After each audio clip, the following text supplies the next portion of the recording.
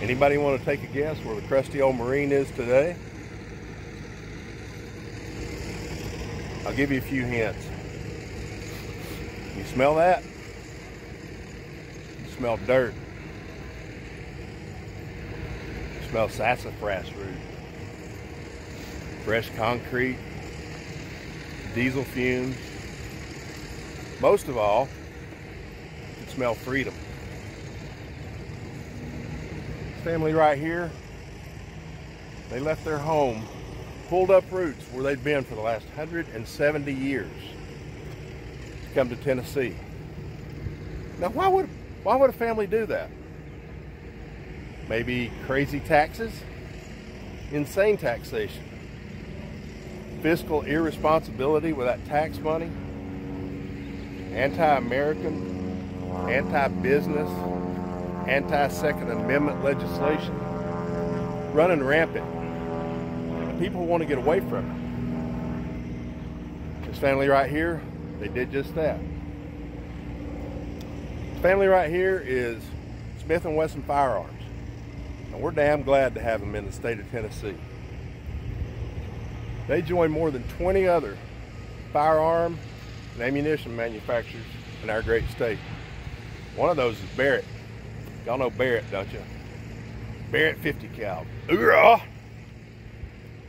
But you know, we got a lot of folks coming from Chicago, New York, LA. They're moving out here to escape the same thing. That crazy taxation, fiscal irresponsibility with that tax money. They come here, but too many of them come here and they keep the same damn politics. We don't mind you coming here. Leave your politics at home.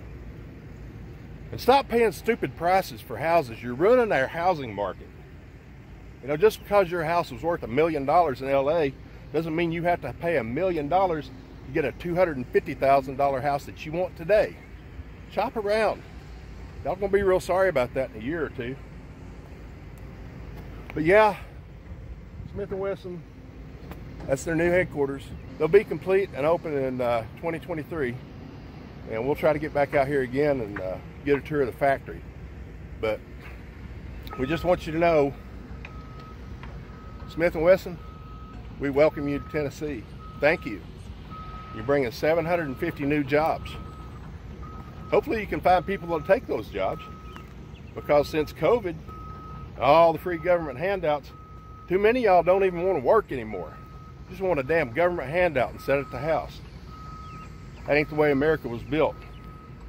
That ain't the America I signed up to defend 35 years ago. That America is disappearing, and if we don't do something about it, it's going to be gone. So all you people moving here to get away from that crap, stay home and fix the places you're at. Change your politics. Change your politicians. Write your legislators. Write your legislators. Let's get America back to where we ought to be. Freedom and freedom loving. It's Crusty Old Marine. Glad you guys joined me today. Hit that like and subscribe button and uh, y'all have a good one.